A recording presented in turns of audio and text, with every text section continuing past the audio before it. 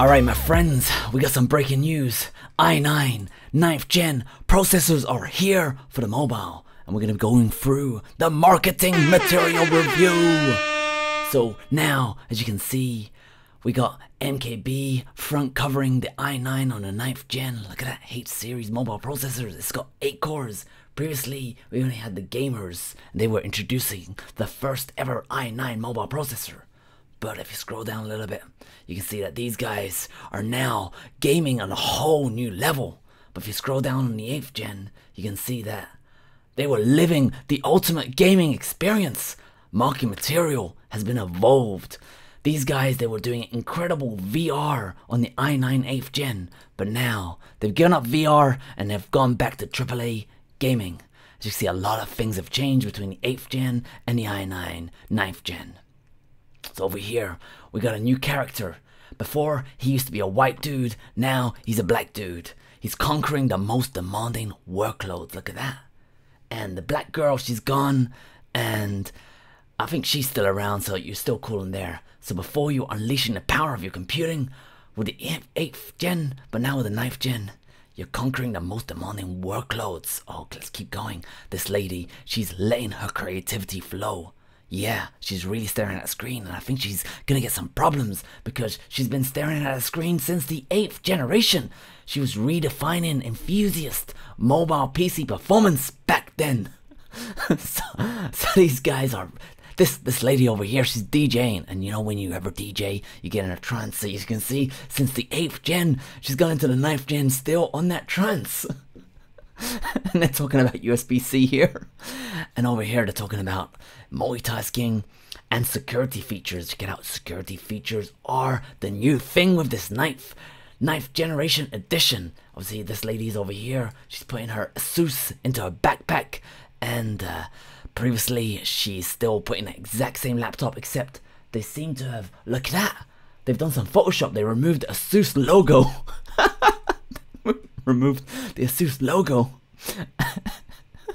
These guys are awesome. Alright, let's see what else has changed. i5, look at that. Alright, the crux of the matter is some things have changed between 8th gen and 9th gen, and 9th gen now provides some logos, and most importantly, it gives you the mobile removed from chipset graphic. Check it out. Mobile, it's not mobile, it's all about a desktop. Intel have given up their mobile conquest. They pulled out of 5G because they realize it's dangerous for you health wise. Don't know what we're doing with that, honestly. But they've pulled out of mobile and they've gone straight into laptops. So the features of this 9th gen i9 processor is that it has 8 cores. The problem is it runs slightly slower than the 8th gen. So previously we could go 2.9 gigahertz. Now we only go 2.3 because we have an extra 2 cores compared to the 8th gen. Now we can go up to 128 gigabytes of RAM and uh, the bandwidth the same. ECC is not supported. We got the same exact graphics as before. Although it says it's slightly faster. Look at that 120, 125. Whoa, performance, the future is here. PCI is the same, peeing all over the place. You got T junction over here, 100. You got T junctions the same. The package is the same, it's not got any bigger. Optane still the same, 2.0, yes, yes, yes, 64, yes, yes, yes, no. Good, good times over there. So the big, big headlines is it's gone slower. It's gone from 2.9 to 2.4, but potentially it's faster because it's gone from 6 cores to 8 cores. Graphics are the same, Wi-Fi 6, sexy, beautiful, amazing. The future is amazing. Just if you want to see amazing CPUs, check out Tesla's new CPU. That one does uh, some teraflopping action over there. But back to the Mark. And I think the most important thing maybe with this uh, 9th gen is it's got uh, security features.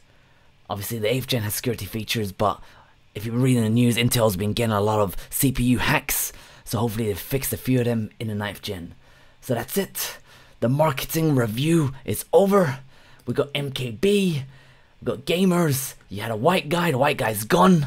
He's gone packing. He's got bad things to do. They've gone rid of the white guy. He looks too much like the the Windows guy, and he's got a, his laptop's been photoshopped away. That was a Dell laptop, I think. and uh, everyone else has stayed the same. That's your future, Ninth Gen. The future is here. Desktop caliber performance on the go.